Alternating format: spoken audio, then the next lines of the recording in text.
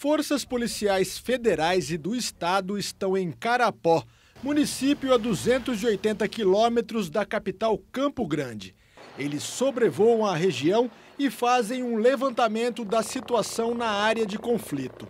Na manhã de terça-feira, 200 produtores rurais se mobilizaram para expulsar cerca de 50 índios que ocupavam a fazenda Ivu desde domingo.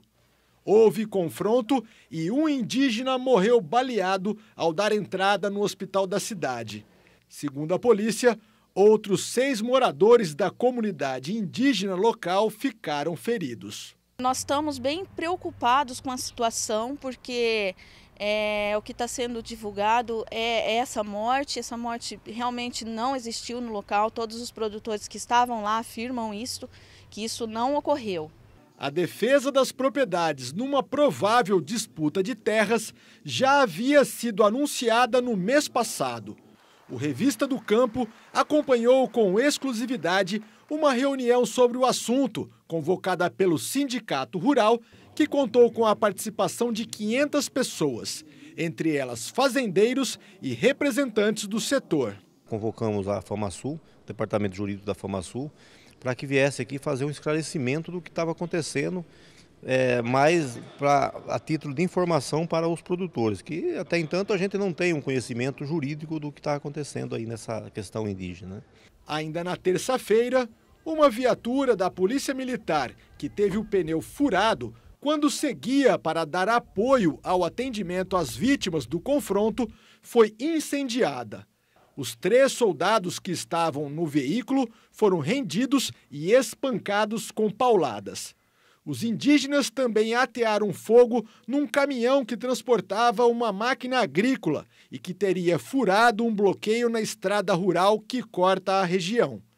De acordo com o subcomandante da PM, as armas e os coletes à prova de balas dos policiais estão em poder dos índios, que agora ocupam três fazendas. Tomaram o motorista do caminhão, os nossos policiais, fecharam, ameaçaram, derrubaram, né? Os nossos policiais tiveram que ser desarmados, deixar as armas na viatura.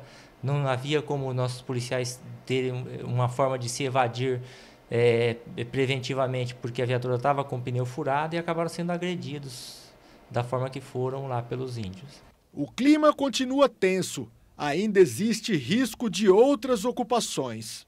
Esta estrada, que leva a outros três municípios da região sul do estado, passa por canaviais, propriedades de criação de gado e no meio da reserva indígena da aldeia Teicuê. É uma área considerada pelos guaranis kaiowás como sendo território indígena, chamado Amambai Peguá I. São 56.600 hectares identificados como território indígena no relatório circunstanciado de identificação e delimitação, publicado no Diário Oficial da União no dia 13 de maio, através de uma portaria da FUNAI. Oito quilômetros pela estrada, seguimos as viaturas da Polícia Federal até uma das três propriedades ocupadas onde foi montada uma barreira para controle do acesso às fazendas e à própria aldeia.